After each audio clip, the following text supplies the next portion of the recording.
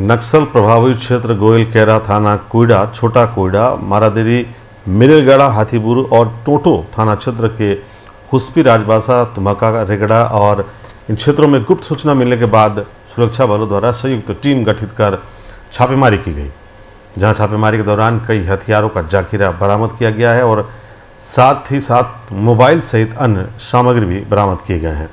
ये छापेमारी पुलिस अधीक्षक के निर्देश पर की गई थी।